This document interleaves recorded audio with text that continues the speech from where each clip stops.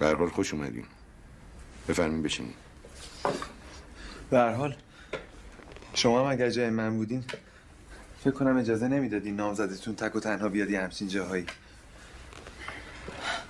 من فکر می‌کردم شما از تئاترمون خوشتون اومده. مگه ممکنه خوشم نیومده باشه؟ حالا من به بازی بقیه کاری ندارم. اما قبلا هم خدمتتون عرض کردم که شما در این نقش میدرخشین روی صحنه. اما شکایت وارد امریست علاهده. شکایت؟ از من شکایت شده؟ ناچارم موکدن تاکید کنم سرکار خانم مریم. و البته جناب آقای اوتلو.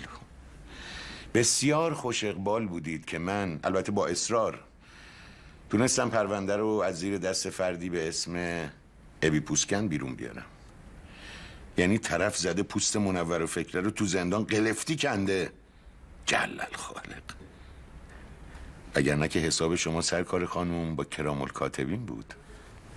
آخه چرا جناب سرهنگ؟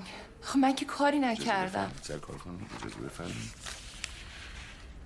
عجب عجب.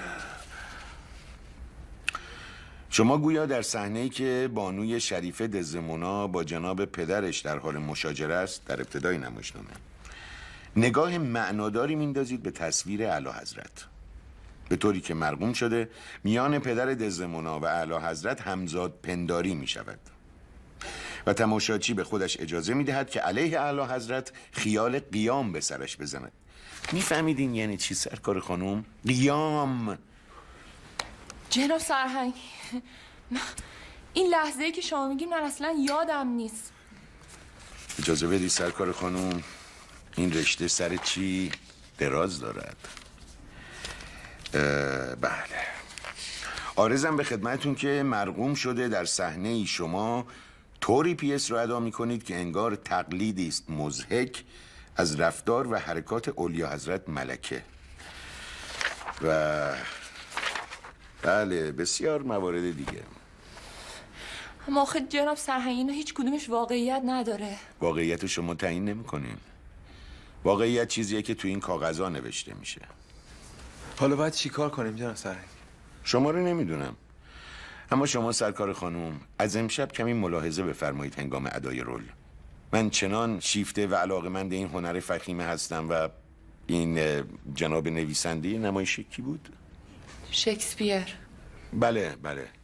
به هر حال من از هیچ کمکی نسبت به شما دریغ نمی کنم وگرنه ممکنه باز حکم بازرسی و معاینه نمایش صادر بشه. و چه بسا؟ انقضای پروانه. متوجه که هستید؟ جناب اوتلو. بله جناب سرنگ من تمام این مواردی که گفتین امشب با کارگردان صحبت می‌کنم که لحاظ بشه. حتما این کارو بکنید. بله ممنونم.